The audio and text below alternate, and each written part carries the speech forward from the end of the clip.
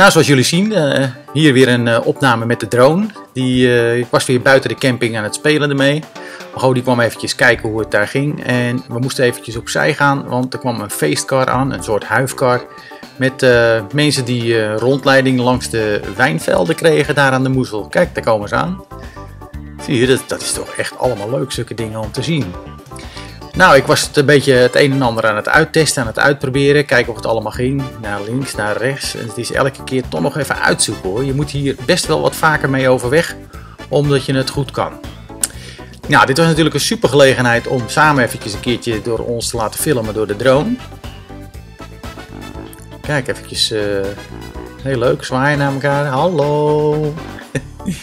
dit is echt grappig. En hij blijft gewoon echt stil hangen. Het is onvoorstelbaar. Het is net alsof je een uh, gimbal uh, in je handen hebt. Maar goed, dat zit er ook onder. Uh, nou, dit is dan weer een afstand van wat verder, dichterbij. Ik ging weer richting Mago om uit te testen. Kijk, zie je?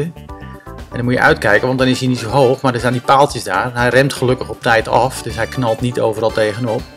Dat kan je hier ook heel goed zien, want kijk, ik wilde naar Mago vliegen, maar dan zie je die takjes erboven.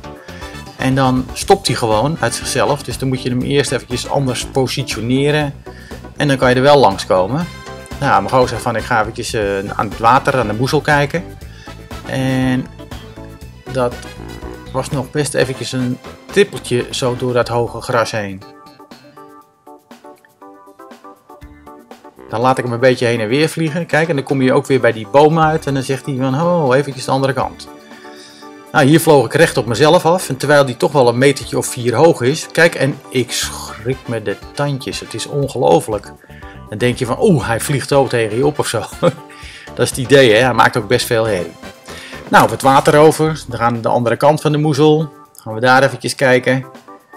En het grappige is dat je gewoon met je telefoon die je in je hand hebt, die je aan die besturingssysteem hebt zitten, die kan je precies zien wat die doet. Kijk, hier zit ik toch midden boven de moezel.